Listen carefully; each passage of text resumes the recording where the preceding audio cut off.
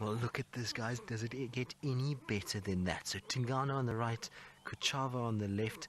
There's the beautiful big Tingana looking as stately as ever, and the beautiful Kuchava on the left hand side. Now, for those of you who don't know who Kuchava is, that is the daughter of Tandi, the leopard we saw last night, and so it was her last cub that she had. And as far as I know, she has mated a few times, but yet to produce a litter, which is exciting news. So it looks like she's come into an area where Tundi has spent a lot of time around Chitwa, and I wonder if this is not where she's going to end up denning if she does fall pregnant. It would be amazing if we have her on Chitwa, Tundi on Djuma, and then we get to see the lineage carry on. Because remember, this is still Karula's lineage, as Tandi is the daughter, and how cool is that to see the two of them positioned on top of the mound?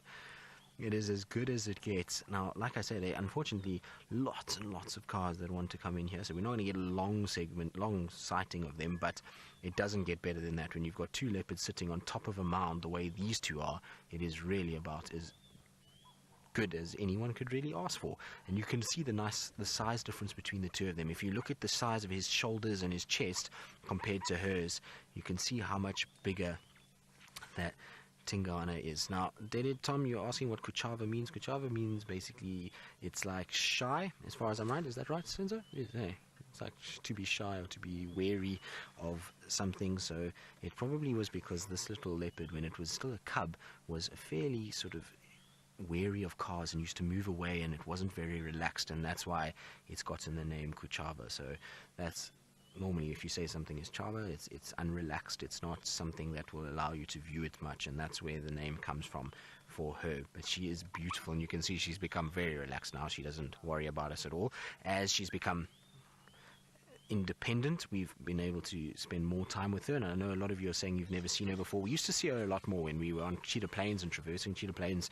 She spends time in that area. I remember I had a sighting of her very close to Cheetah Plains Open, actually, which was quite cool. So she moved. She's moved a lot, and I think with the shifting of Tundi into Djuma, so that's allowed Kuchava to start shifting from Nkoro Cheetah Plains side more towards Chitwa side, and we can't complain. I mean, if we're going to get to see another female leopard and another sort of development and particularly a young female because remember we, we don't have many young females. Tandi, Shadow, they're older individuals and if we can get a sort of three and a half year old female that's going to start having her first litters, this might become another legacy that's going to carry on in the years to come of Safari Live. So it's great to have another female and for those of you who want to check any of the spot patterns or want to look for noticeable markings, Senzo's just doing a little sweep of her body so you guys can get some screenshots and get some markings that will be able to identify her. But you can see they're both tired. I suppose it's been a long afternoon of walking around and mating. So it's probably why they're so tired. Now, Razor, you say they she looks so much like her mom. She does, doesn't she? She's got a little bit of her mom look to her. But there's also there's whoever the father is has also got a bit in there. She seems to have a little bit more of a boxy face than what Tandida has. Tandi seems to have a more rounder face. She's got a little bit more of a boxy face. And in fact, I've actually shown her a photo to a number of people, and they often comment that she has a little bit more of a masculine look than what Tandi does, but she is beautiful. She's a very pretty leopard, and I know this is Taylor's absolute favorite leopard. So, Taylor, I hope that you are watching, and if you're not watching, well, I'm sure she'll be excited to know that we got to see Kuchava and that there's an update on her because Taylor loves this leopard and always used to go looking for her on Cheetah Plains. So, I'm super glad that we got to catch up with her, and she's looking as good as you could imagine. The last time I saw her, she was a little bit smaller, and she's grown a little bit. She's filled out, and she really is growing into a beautiful leopardess. You can see her nose is starting to darken as well, so the pink is disappearing ever so slightly, and slowly but surely we'll find that that nose will become very dark. Beautiful clean ears of a young leopard as well. So, oh, are you sleepy, my girl? I see your boyfriend is also sleeping at the moment. He's completely out cold as well, as Tingana likes to do. It's nice to actually see Tingana sitting for once. We are generally with him and he's moving around all over the place. Now, the interesting thing is that she's come off a carcass. So it's interesting that she was eating a carcass yesterday and then now is with Tingana. I wonder if Tingana didn't rob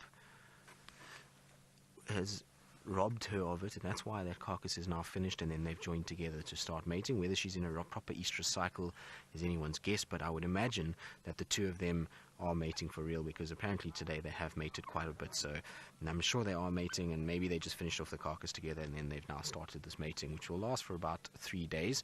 Now, Karen, you say Kuchava means scared. Well, like I say, I mean, it's scared is probably not. I mean, that is, a, I suppose, a direct translation. But out here, if we say something is chava, it means that it's unrelaxed. So we refer to an animal as chava. It's it's unrelaxed. It's not an animal that is easy to view, and that's why she was called kuchava. So scared, I suppose, is the direct translation, or shy. Well, Tingana is actually shy. That's the name for Tingana. So we've got shy and scared, which neither of them look like they are anything to suggest what their names are. But remember, when Tingana arrived, he was also quite secretive and elusive.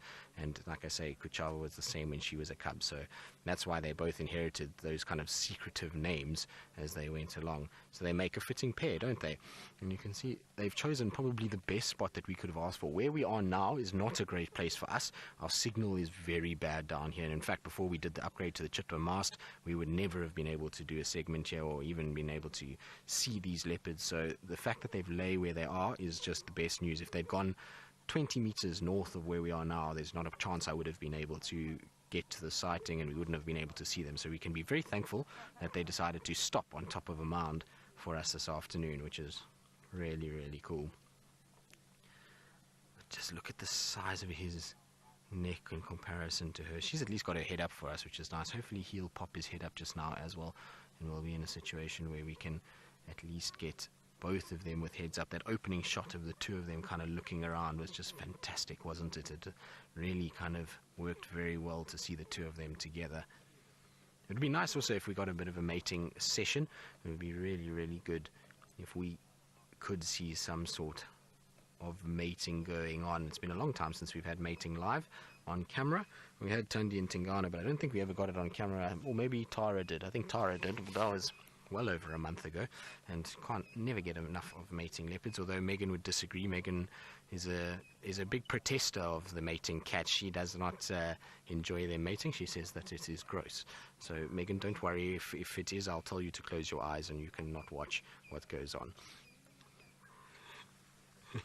so Megan says thank you very much, which is good. But our leopard luck continues. Uh, it seems to be every time we come to Chitwa, we've had a leopard as well, which is really amazing. So, Jake, the father of Kuchava, I'm not 100% sure. I, I, would imagine it's either Shavambalan or it's Tingana. Look, she's going to go up to him and she's going to initiate the mating. Look, Senzo, I'm going to roll back slightly for you. Just going to try and go back a little bit so that Senzo can see a bit better. There we go. Look, so she's trying to initiate it. She's the one rubbing up on him, and this is what the females do. How cool is this, guys? Look, and there he goes. He's gonna get up.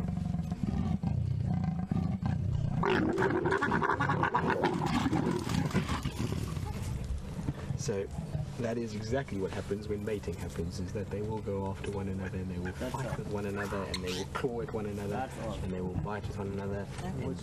that's because when he mates with her, he actually has a barb on the end of his penis. And so when he pulls out it actually hurts her and that's when this growling and hissing carries on.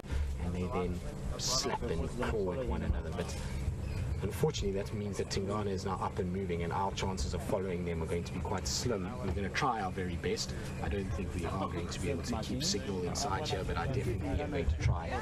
But how cool was that? It doesn't get any better than what we've just seen right now. That is the best way to have experienced leopards and to have mated where they did right on top was just absolutely phenomenal. So that was super, super cool, and we got very, very lucky to be able to see that. Now, I am